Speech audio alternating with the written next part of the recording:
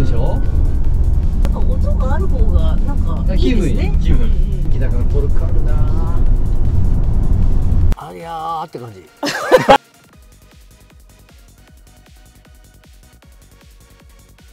では最後の車は何でしょうか？これはアリアニスモになります。おおこれですね。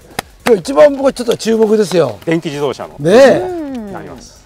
これ長谷川さんちょっと教えてください。これはまあ先ほどあのスカイライン Z と同じようにまあパーツ赤いパーツがまたついてるんです、これも空力ですね、はい。この車はやっぱ2.2トンあるんで、うん。やはりあの空気でこう車を少し抑えていかないと、かなかなかあのうまくあの軽快に走らないっていうのがあるんで、まあそれをまあパーツでやったのがこの赤いラインのパーツになります。まあだから SUV だから四駆ですよね。そうです。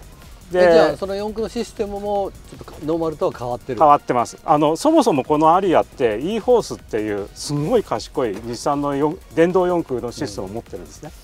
でこれって四輪のタイヤの駆動力をあの結構自由に配分変えられる賢いシステムなんですけどもそれを、まあ、ニスモでチューニングした時にはもう少しコーナーの出口のところでアクセルを少し踏んでもらった方が楽しく走れるんじゃないか、で普通そうするとアンダーステアで車が外に膨らもうとするんですけども、そそこを、まあ、E4 E ホースの、まあ、制御でなるべくニュートラルで走れるような、タイヤの駆動輪配分を自分でこう計算しながらやっていってくれるんで、まあ、ニスモのハンドリングみたいな軽快な走りで、まあ、この2.2トンの600ニュートンあるパワーで、まあ、こういうサーキットを走っても、まあ、そこそこ楽しく走れる、そんなような車になってますあの EV 車って基本的に出足とかいいじゃないですか。いやトルクが一気ね、にシューってきますよね。はい。でももともといいわけですよね。うんトルクはね、はい。ね、ニスモという持ち味をはい。どういうふうにこう入れていくんですか？それはやっぱり、まあ、まず四輪の設置をきちんとまずしようというのが、ササスペンションのチューニングの方針があって、でそれをさらにあの e ホースっていう四輪の駆動力配分が結構自自由にバランスを変えられるのでそれでなるべく後ろの方に駆動力を配分してでコーナーで早く気持ちよく抜けられるようなチューニングに変えていくのがニスモのやり方。結構あの、まあ、GT500 のレーサーが乗ってもらってすごいスピードで結構走ってたんで、自分が設計してるのはあこんなスピードで走るのか？っ て今日はね、土屋さんが飛ばしますよ。今日このまま東京まで戻りますか手柔らかに それはニスモモード。ら。ね。そうね。してみますよ、ね。そうですよはねじゃあ行きましょうか。はい。試乗しましょう。行ってみましょ改造車買取専門店。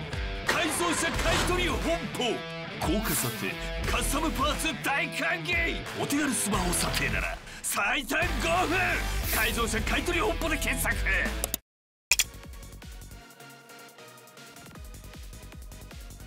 じゃあ行きます。はいお願いします。ニスモモードで行きます。リスモモードで。はい。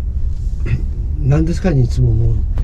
トルク配分をん。ノーマルと違って変えてんだって、そうリリアの方にトルク配分を多くしてコーナーの後ろで踏んでもらってもあのニュートラルで曲がっていくようなそういう制御ができる。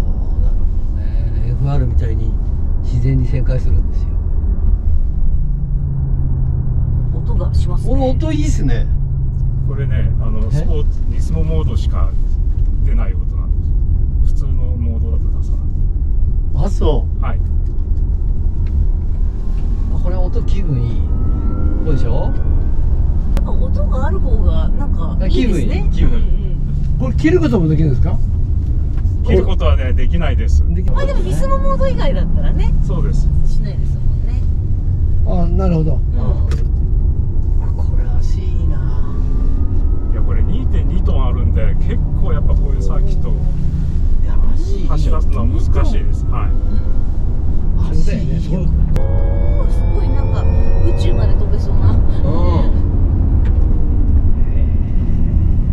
じゃあスタンダードいきます、はい。はいあ電気だからトルクあるな。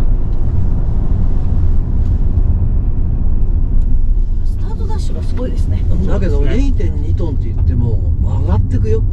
スーッと曲がる600ニュートンあるんで一気に600ニュートンスタートの時に使ってなんか普通モードもいいでしょいいあのしなやか、そうだよね。うん、すごくなんかしなやか。なんかあの俺はなんかこっちのモードの方がうんうんなんかいいかな別にしなやか、うん。うん。ほら。しっとりしなやか、あだけどこれはだけど600キロで450を絶対走るわけだからさはい。世界で EV と勝負できるじゃない？ああそうですね。ね？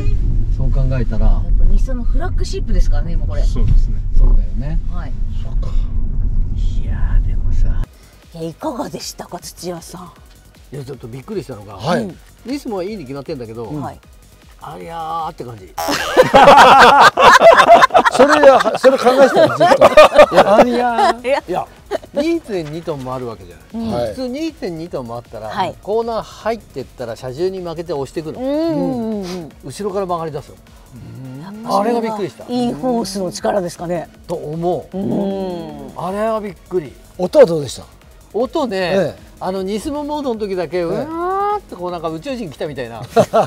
あれ回転ブレーキですよね。そうです。回生ブレーキというかまああ回生ブレーキの音も入ってますよね。そうですよね、はい。だからねこれはこれで面白いなと思うんだけど、嫁とか彼女が乗ってたらうるせえなって切れ切れ切られると思う。ああの乗ってる本人はとっても気分いいの、ーうんうん。あなんか音出てるぞみたいな、まあでもノーマルだったらねないんですよね、はい。はい、というわけでですね、今回はニスモを深掘りしようという企画でした。はい、すごいご堪能していただけたらない。かなと思いますけど。私はね、はい、普通ので十分ですよ。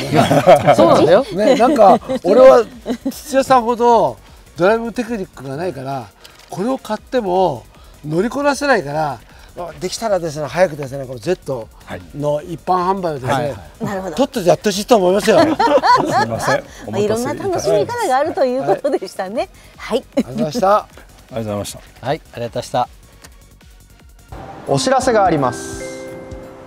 この度アヘッドモーターサービスでは新たに一緒に戦ってくれる仲間を募集していますモータースポーツはじめ、まあ、チューニングもやってるじゃないですか、うちら。そうですね。まあ、車両販売からさまざまな自動車事業をやる中でモータースポーツをいじった経験が普通にお客様にフィードバックされて、まあ、チューニングも含めてあの提案させていただいてるんですけども、まあ、ぜひあのうちらのチームに入って一緒に働いてみませんかということで。はいそうですね。あの、はい。本当にねあの AJRT の活動も通してですけれども、まあ、あとはねあのテリーちゃんの車の話というね。番組にもねあのたくさんいろいろと協力もさせていただいてというところでここでしかできない経験皆さんありますのでぜひねあのふるってご応募いただきたいはい。ところでございます、そして、そしてえーブレス。はい、あの板金塗装で、えーおなじみのブレスも一緒に、えー働いていただける仲間を募集しています。まあ、今もね、あの塗装部も板金部もね稼働していますけれども、まあね。はい。みんなでねやっぱり盛り上げていきたいなとはいいうふうに我々思ってますので、えー一緒にですねえー楽しく働ける仲間募集していますので、えーぜひこちらをクリックしてください。特に今年はですねチャンピオン取りますからね。皆さんチャンピオンの一員になりませんか、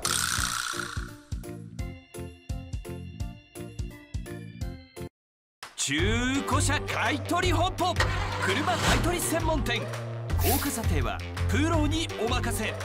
お手軽スマホ査定なら最短5分。中古車買取本舗で検索。車のことならアヘッド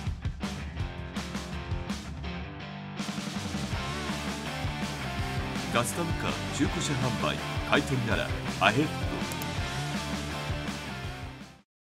車の話番組 YouTube では。未公開映像や特別映像を公開しています。チャンネル登録。お願いします